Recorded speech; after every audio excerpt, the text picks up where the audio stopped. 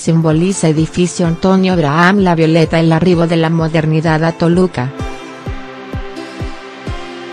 Toluca, México. Durante muchos años el edificio Antonio Abraham fue considerado el rascacielos de la ciudad de Toluca, así como un emblema para la capital y, por décadas, referente comercial al ser la Violeta la mercería más grande que durante 89 años brindó servicio a costureras, amas de casa, sastres e incluso tocineros.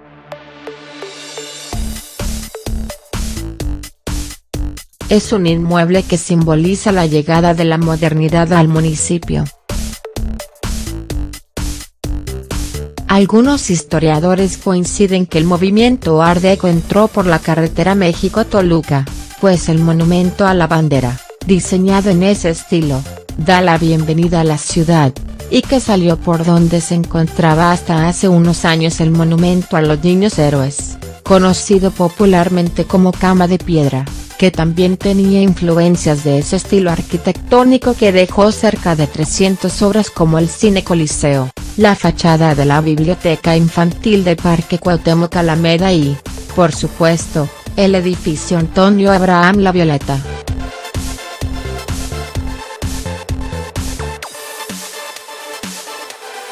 El introductor de la arquitectura de Toluca fue el ingeniero Armodio del Valle Arispe, y con él la llegada del concreto reforzado, material que utilizó en la construcción del edificio, además de viguetas de acero que sirvieron de traves y castillos, que con el paso de los años han demostrado resistencia superior a la de otras edificaciones.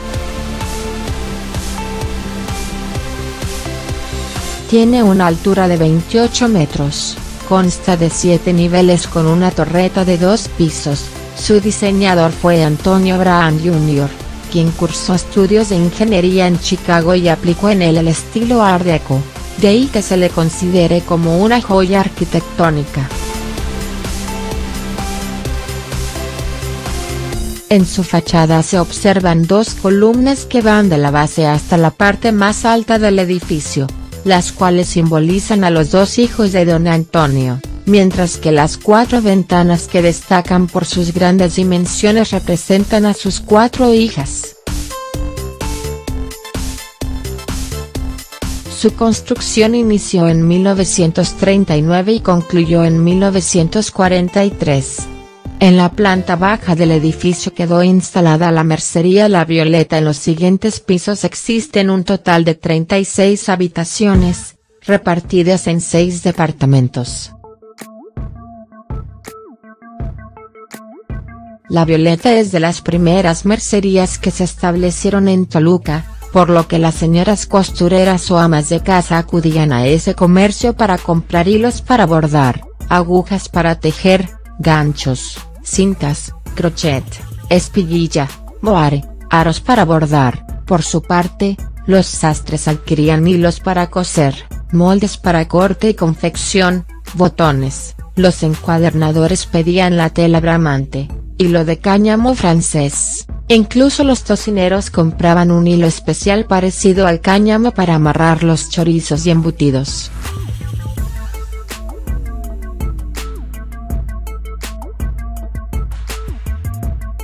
El establecimiento fue tan exitoso que se usó como referencia para las rutas del transporte público, pues se mencionaban la Colonia Violeta y Cama de Piedra La Violeta.